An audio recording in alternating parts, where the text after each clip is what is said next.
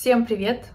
Сегодня у нас история немножко о турецком менталитете. Есть такие темы всплывают периодически. Поговорим об отношениях с мужчиной, с турком. Это относится к отношениям и с мужчинами в других странах, не только к туркам, но мы сегодня немножко затронем момент менталитета. А, если вы считаете, что такие видео полезны, ставьте лайк, подписывайтесь на канал и продолжаем смотреть. У меня недавно был такой запрос, и не один, кстати, в течение вообще ведения канала такие темы периодически встречаются. Как себя вести, если я вижу, что мой муж, либо парень, с которым я живу, либо я в отношениях с турком, а, флиртует с другими женщинами в соцсетях где-то. Я, в общем, вижу, но по факту еще ни за что поймать его не могу или у него чистый телефон, я его периодически проверяю, ни за что зацепиться, нет никаких у меня доказательств. Но на уровне эмоций, чувств я чувствую, что мы стали дальше. Или всегда были, например, да, далекие. Нет окончательного у нас какого-то доверия в отношениях. И я чувствую или вижу, как тогда краем глаза какие-то смс приходят, он при мне их не открывает, уходит в ванну с туалетом. Вот такая история, да, начинается. То есть я подозреваю не именно измену, а хотя бы какой-то флирт, интерес моего мужа другими женщинами. Как себя вести в такой ситуации? Что мне делать? Честно скажу, что поднимая любой конфликт, по такую тему подобную конфликтную, то есть будет скандал однозначно, да, я честно скажу, что тут либо два варианта, да, либо молчать, либо быть готовы, поднимая эту тему, что у вас могут произойти а, ну, завершение отношений, разорваться отношения. Вы для себя до поднятия темы должны решить, какой исход я хочу. Чтобы это понять, э, свое внутреннее вот это решение, готова я расставаться или нет, вы должны понять, что окей, принять такие правила игры, если что-то происходит за моей спиной, если мне изменяют, готова ли я быть на вторых ролях? Готова ли я это допускать и прощать? Здесь очень все просто, люди здоровой психикой всегда скажут нет, я не готов. И они принимают ту сторону, что я готов разрывать отношения. Люди, невротические, с какими-либо запросами, страхами, они всегда говорят, ну, я могу позволить простить. Но я же ничего не вижу, делаю вид, закрываю глаза, что ничего нет. Таким бы людям я посоветовала вообще не поднимать эту тему, а жить с этим дальше и смириться. Потому что довести до конца конфликт, до решения ситуации вы никогда не сможете. Человек, ваш супруг или парень, всегда так перевернет, что вы еще будете виноваты он будет всегда чист, с ним будет, потому что у вас нет конкретных да, доказательств. Но у таких людей очень часто, когда есть доказательства, они все равно закрывают глаза и продолжают отношения и позволяют себе наставлять рога. Это определенные моменты психологии, э, поведения вашего. То есть для того, чтобы понять, что я хочу от этого конфликта, вы должны понять и подготовить себя, какой может быть результат. Далее, если это только, вот видите, нет ни конкретной э, измены, конкретного факта и доказательств, как бы возникает вопрос, да, если я не хочу расставаться, а как бы мне мужа моего или парня припугнуть, чтобы он понял, что это со мной не проканает такая история, что так поступать нельзя. К сожалению, это можно, сейчас расскажу, как сделать, но это будет работать только один раз. На второй раз, когда это повторится, если это повторится, да, если ваш, скажем так, его этот испуг потерять вас будет не такой сильный, на второй раз эта история уже не проканает. И вам тогда действительно придется принимать решение, как поступать, расставаться или нет. Но на один раз, скажем так, припугнуть, дать понять, что я к этому серьезно отношусь, нужно, можно попробовать, там посмотрите, как это пойдет. Как бы повела себя турчанка в этой ситуации? Знаете, турчанки не сильно от вас, от славянок, от европеек, от всех женщин в мире отличаются. У них две реакции всегда есть. Либо это замолкание, затухание, подавление, они делают вид, что ничего не происходит, дабы не потерять брак мужа. Вторая ситуация – это вспыльчивые, агрессивные, кричащие хабалки, которые закатывают огромный скандал.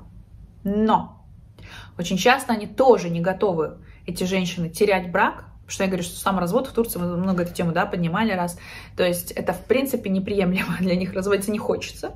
Они поорут, поорут, покричат, поскандалят, вынесут, может быть, ссор из избы, поукоряют его перед родителями, даже расскажут ее, запозорят его, заипят его поведение, публичным это сделают, в кругу семьи публичным я имею в виду, но останутся вместе.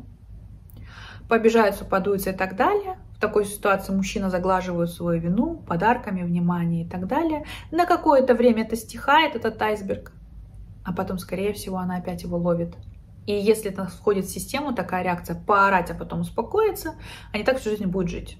Они будут орать и успокаиваться. Это будет определенная система.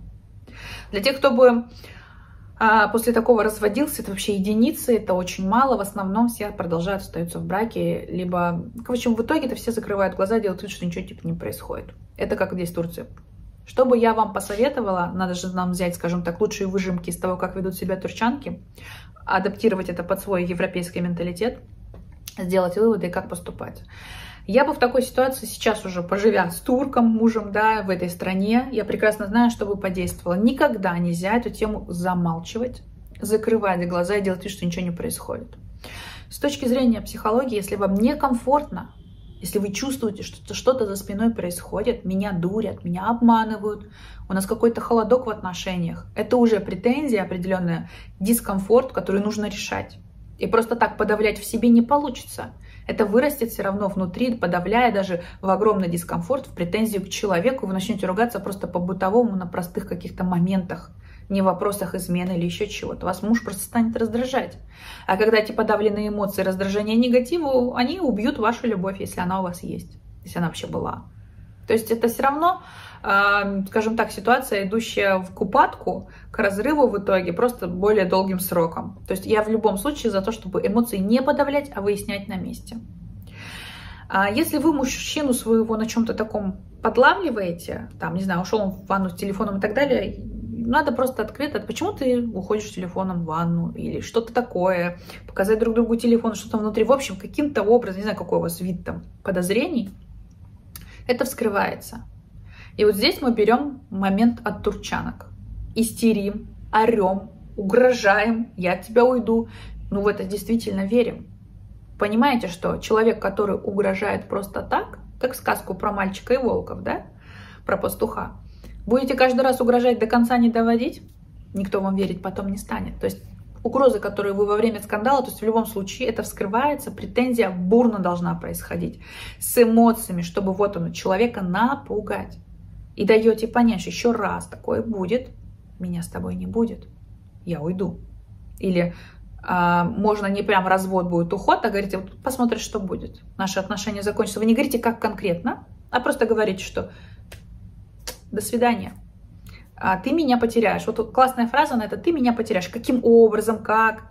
Не обсуждаем. Главная фраза, ты меня потеряешь. Наши отношения закончатся. Если я тебе дорога, ты остановишься. То есть вы человеку в конце этого конфликта даете право выбора.